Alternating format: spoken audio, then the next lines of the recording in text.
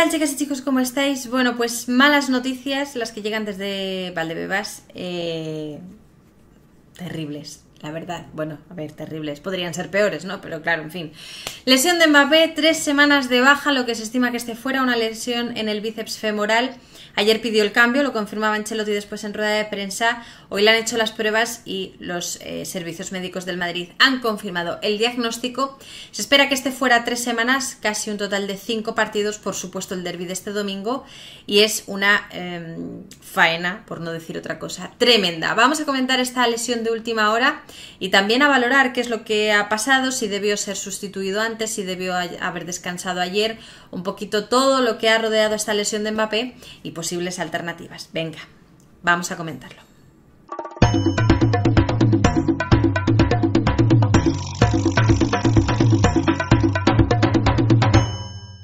Bueno, pues sí, esta mañana los servicios médicos del Madrid examinaban a Mbappé después de que ayer pidiese el cambio.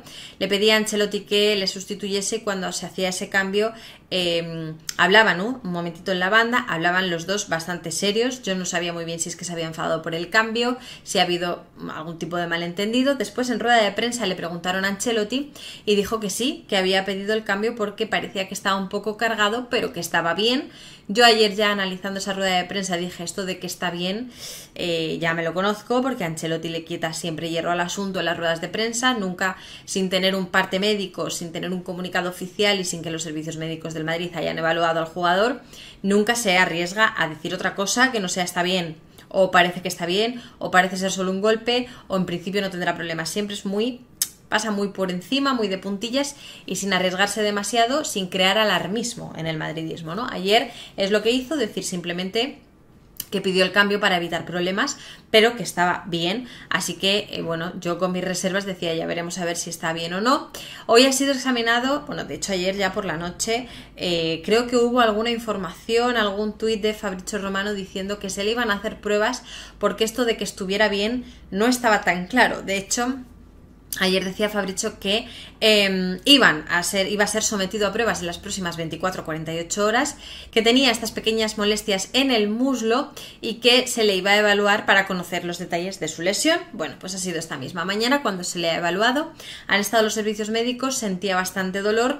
Ya desde primera hora se ha ido filtrando que el Madrid era bastante pesimista con esta lesión de Mbappé, que había bastante pesimismo en que pudiera llegar al derby del domingo y se ha confirmado eh, pues horas después. Con ese comunicado oficial del Real Madrid y con ese parte médico que es este que veis aquí, en el que dice tras las pruebas realizadas hoy a nuestro jugador Kylian Mbappé por los servicios médicos del Real Madrid, se le ha diagnosticado una lesión en el bíceps femoral de la pierna izquierda pendiente de evolución pues en función de la lesión que es y por otras experiencias, ya se ha estimado que serán unas tres semanas de baja, es decir, aproximadamente hasta el parón, hasta el nuevo parón que hay em, en este mes de octubre. Una vez pase el parón es cuando podrá volver a los entrenamientos y podrá volver a jugar y a contar para Ancelotti.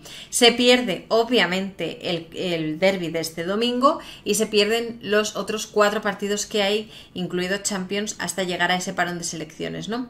Em, qué deciros, o sea, es una faena tremenda, es un disgusto tremendo, sobre todo por el momento en el que se produce esa lesión, que es cuando empezaba a congeniar más, cuando empezaba a entenderse mejor, después de ayer marcar ese golazo tras una jugada combinada con Bellingham, cuando eh, bueno, más necesitaba esos minutos para seguir teniendo esa confianza, llega esta lesión y se corta de raíz eh, pues ese, esa progresión que estaba teniendo, no de raíz, pero sí que llega en el peor momento, ¿no? Como casi siempre. Con esto de las lesiones, ni qué decir que lo de las lesiones empieza a ser ya mm, una broma de mal gusto, o sea, una broma de mal gusto. Lo que está pasando con tanta lesión y con tantos minutos y con tantos partidos, y esto me lleva a las siguientes reflexiones, eh, que es si Ancelotti debería haberle ayer o bien quitado antes, porque ya íbamos 2-0, nada más él marca el gol, eh, ya íbamos 2-0 y ya se podría haber pensado en cambios en el mismo descanso, en el tiempo de descanso ya podríamos haber pensado en, en cambios o incluso nada más se marca el tercero, porque es prácticamente al empezar la segunda parte, ahí quizá Podría haber empezado a dar cambios y a dar descanso a muchos jugadores, no lo hizo, decidió esperar un poco más, bastante más, hasta el minuto 68.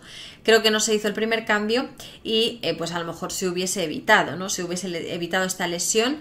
También se valora esa posibilidad de que hubiese descansado, una cosa que por muchos medios se valoraba como algo que podía ocurrir con bastante Em, probabilidad, que estaba bastante valorado por Ancelotti darle descanso a Mbappé. Al final las rotaciones fueron cero patatero, no hubo rotaciones ayer más allá del descanso de Carvajal. Y bueno, es lo que decía ayer, no, al final pues, se trata de que jueguen más tiempo juntos, de que sigan carburando juntos para que se entiendan mejor y para que eh, todo pueda ir enlazándose mejor, para que puedan jugar mejor juntos pero el riesgo que se asume es este. Es muy ventajista por mi parte ahora decir, hombre, pues a lo mejor debería haber descansado o a lo mejor debería haberle quitado antes, ¿no? Haberle dado descanso antes teniendo en cuenta que en el minuto 48 íbamos ya 3-0. Es ventajista, pero es cierto que quizás se forzó demasiado la maquinaria y que quizás se, aguantó demasiado, ¿no? Esa posibilidad de que, de que Mbappé pudiese sufrir cualquier tipo de percance eh, iba en aumento a medida que él estaba en el campo, igual que otros, igual que Vinicius, igual que Rodrigo, igual que Fede, eh, y en este caso pues hemos tenido la mala suerte de que caiga, de que caiga lesionado. Lo que decía es que me da rabia porque es justo cuando empezaba a carburar, justo cuando empezaba a arrancar. Llevaba seis goles, pero cuatro de ellos eran de penalti. Ayer hace el mejor gol de lo que llevamos de temporada y de lo que lleva él eh, de su andadura en este mes y medio con el Real Madrid. Ayer fue el mejor gol y es precisamente ahora cuando se corta esa progresión y cuando peor nos viene, sobre todo para el derby, que no, no deja de ser un derby. Es verdad que habrá muchos derbis y quiero ser positiva y van a venir muchos más y vamos a tener ocasión de verle mucho más, pero precisamente para el partido del domingo pues nos hemos quedado todos un poco plof, ¿no? Analizaremos, ¿no? Más adelante ese posible, esas posibles sustituciones o salidas que tenga Ancelotti para esta lesión de Mbappé. Ya veremos a ver si es el momento de Hendrik, si pone a Hendrik en el lugar de Mbappé sin cambiar absolutamente nada más, sin cambiar dibujo, sin cambiar sistema, simplemente posición por posición o mejor dicho, jugador por jugador, en la misma posición. Yo lo veo arriesgado, yo creo que no lo va a hacer. La otra opción quizá podría ser meter a Modric en el centro del campo y jugar con un 4-4-2, ¿no? Incluso con Bellingham un poquito más en punta, en esa posición de media punta, que es la que jugaba, en la que jugaba el año pasado, que tan buenos resultados nos dio, de manera que Modric sea interior ocupando esa posición de cross y Bellingham un poquito más en punta. Bueno, esto ya lo eh, analizaremos porque, insisto, habrá tiempo. El jarro de agua fría mm, nos lo hemos llevado todos. Yo, vamos, es verdad que ayer se hablaba ¿no? de esas molestias. En, cuando pides el cambio ya es eh, porque eh, no hay buenas sensaciones, pero bueno, esperábamos una evaluación, una sobrecarga, yo esperaba una sobrecarga, quizá darle descanso también mañana porque hoy no han entrenado, pero bueno, mañana pues que tampoco entrenase, había margen suficiente, había cinco días para que se pudiese recuperar para el domingo, pero claro que de repente se pierda tres semanas, que son cinco partidos, pues obviamente es un jarro de agua fría y y es, totalmente inesperado y es una faena ahora para, para Ancelotti y para nosotros que no vamos a poder pues disfrutar de él. ¿no? Quiero saber qué os parece a vosotros, qué os parece esta lesión de Mbappé y si pensáis que... Em, ayer debería haber descansado o que debería haber sido sustituido antes, teniendo en cuenta, insisto, que en el minuto 48 íbamos 3-0. Ya sé que es ventajista pensarlo ahora a posteriori, pero quiero saber vuestra opinión y también cómo creéis un poco que se va a solucionar para este derby, ¿no? Aunque ya digo que eh, hablaremos de esto más adelante porque hay tiempo, pero bueno, ¿Qué os parece esta malísima noticia? Como siempre os pido, dejádmelo todo en los comentarios y por supuesto dejadme un gran like. Suscribíos al canal si todavía no lo estáis y nos vemos en el siguiente vídeo.